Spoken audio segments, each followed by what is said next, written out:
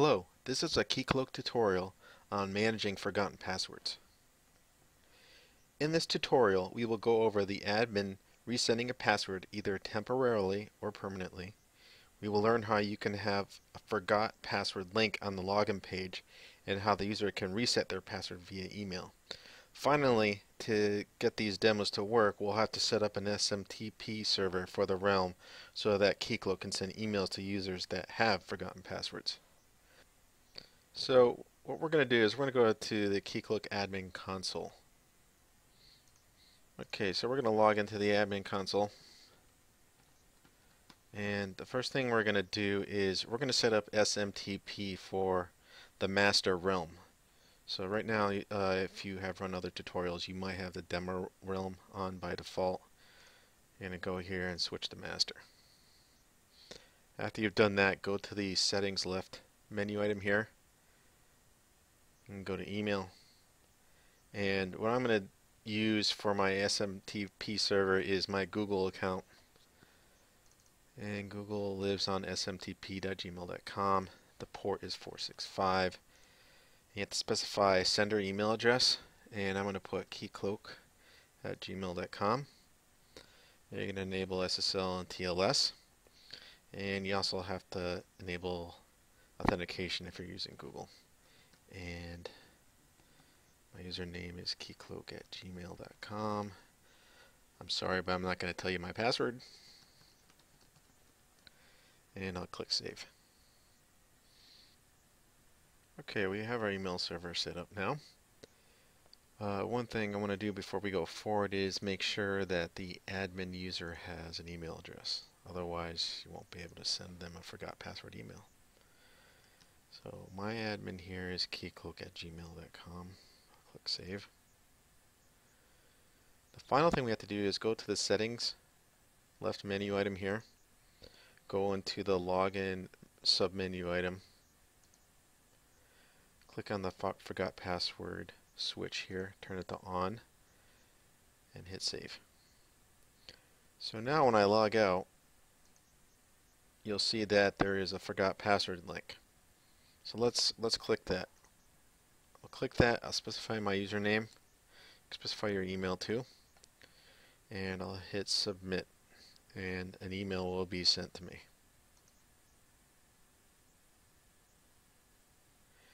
You should get a little message here. You should receive an email shortly with further instructions. So I'll go to my uh, Gmail account. I'll look in my inbox here and you'll see that an email has been sent to me from me.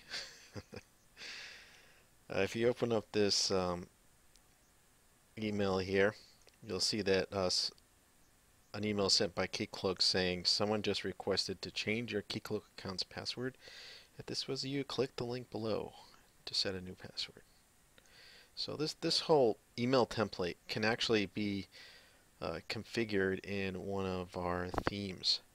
Um, if you're interested in doing that, then go to uh, our documentation that describes how to set up a theme.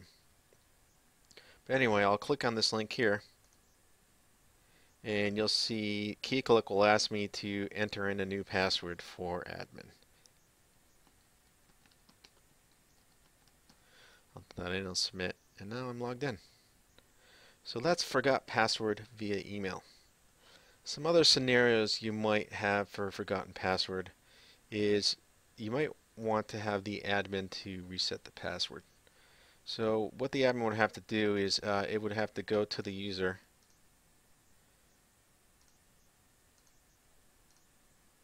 And under the users page you'll see a credentials submenu item. You click on that. When you click on that um, there's multiple options that you can do as an admin to force a, password change you can temporarily temporarily reset the password and I'll put a new password in as password so I'll click reset here. And once I do that, for this particular way of resetting a password, I actually have to tell the user verbally what their new temporary password is. And when the user attempts to log in, they'll have to enter in a new password. So let's try that out. Go back to login page.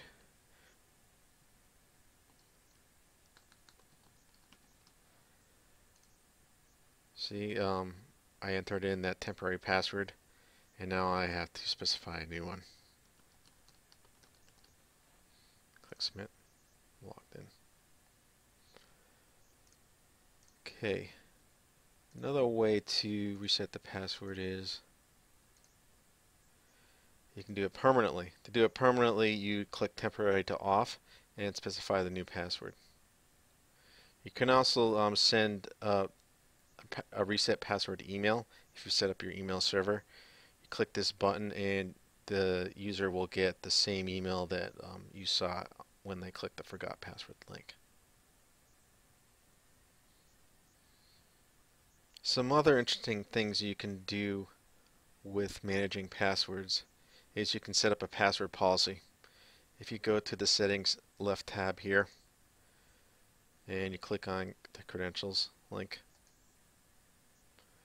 you can uh, specify a realm password policy.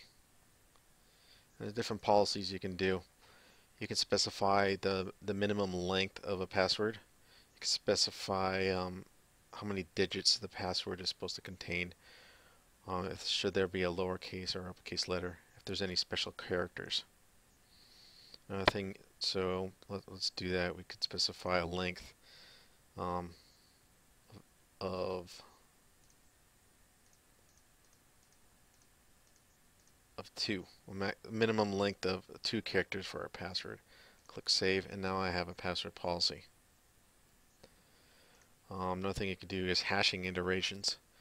Hashing iterations are how many times the password is hashed before it's stored in the database. The default is 1. Um, this is for performance reasons. Now, what what the security folks recommend for hashing iterations is actually 20,000 iterations. That might seem a little crazy, but um, computers these days, um, if they have access to a password database, they can hack hashes um, within um, a few days or so if your hashing iterations are low. So the recommended amount is 20,000. But if you set it to 20,000, it's going to seriously slow down Keycloak because doing those hashes takes a lot of CPU power. So, as an admin, you're going to have to decide whether or not scaling or password security is more important to you. Okay, that's it. Hope you enjoyed this tutorial. Check out our website for more information on Keycloak. We have documentation and more videos.